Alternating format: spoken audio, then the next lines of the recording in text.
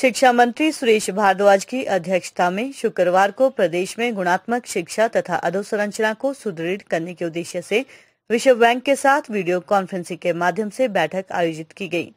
सुरेश भारद्वाज ने कहा कि प्रदेश सरकार राज्य में गुणात्मक शिक्षा प्रदान करने तथा शैक्षणिक संस्थानों की अधोसंरचना को सुदृढ़ करने के लिए प्रतिबद्ध है। वर्तमान सरकार ने अपने कार्यकाल के दौरान शिक्षा के क्षेत्र में अनेक लाभप्रद योजनाएँ आरंभ की है। आज हिमाचल प्रदेश देश में शिक्षा हब के रूप में उभर रहा है। विश्व बैंक ने सदैव प्रदेश के विकास में महत्वपूर्ण योगदान दिया है तथा सरकार आशा करती है कि भविष्य में भी विश्व बैंक की सहायता से शिक्षा क्षेत्र में नए आयाम स्थापित किए जाएँगे। हिमाचल प्रदेश के विश्वसनीय jeweller Bhushan jeweller solar. Himachal Pradesh में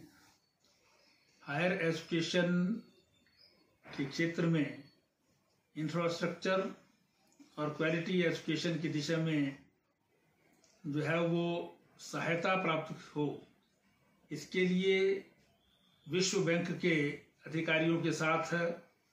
वीडियो कॉन्फ्रेंस के द्वारा बातचीत हुई। इस बातचीत में हायर एजुकेशन काउंसिल के chairman professor Sunil Gupta ji secretary education Shri Rajeev Sharma ji special secretary Shrimati Rakhil Kahlon और director higher education Shri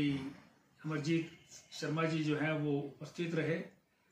world bank में वाशिंगटन से मिस्टर कार्ट जो उनके रिप्रेजेंटेटिव हैं, और दिल्ली में उनकी रिप्रेजेंटेटिव श्रीमती संगीता, उन्होंने जो है बातचीत में भाग लिया। मुख्य रूप से हिमाचल प्रदेश के उच्च शिक्षा के क्षेत्र में जो महाविद्यालय और विश्वविद्यालय यहाँ पर अभी एग्जिस्ट करते हैं, उनमें बहुत सारे ऐसे हैं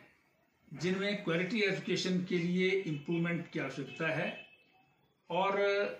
द्वितीय संकट के कारण विशेष रूप से कोरोना वायरस की स्थिति में जो है वो आर्थिक स्थिति ठीक न होने के कारण जो है वो उनकी डेवलपमेंट में मुश्किल आ रही है। इसी प्रकार से आधे से अधिक कॉलेज जो है वो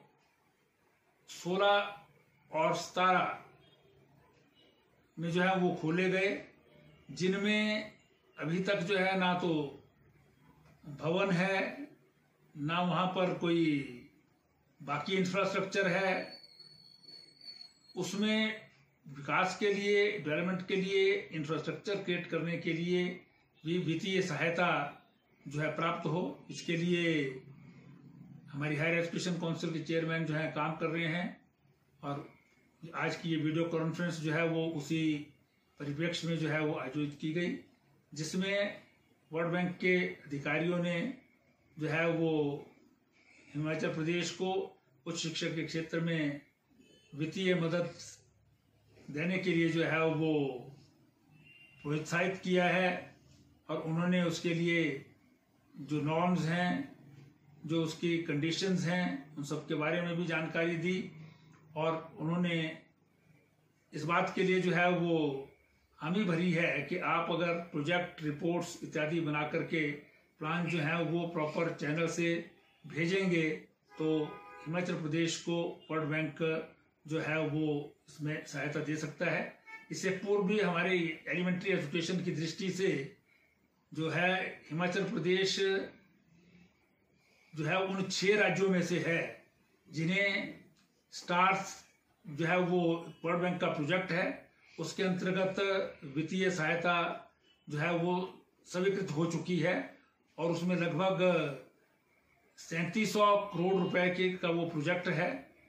जिसमें छह राज्य हैं और हिमाचल प्रदेश एक राज्य है, जिसमें पाँच वर्षों के लिए लगभग 500 करोड़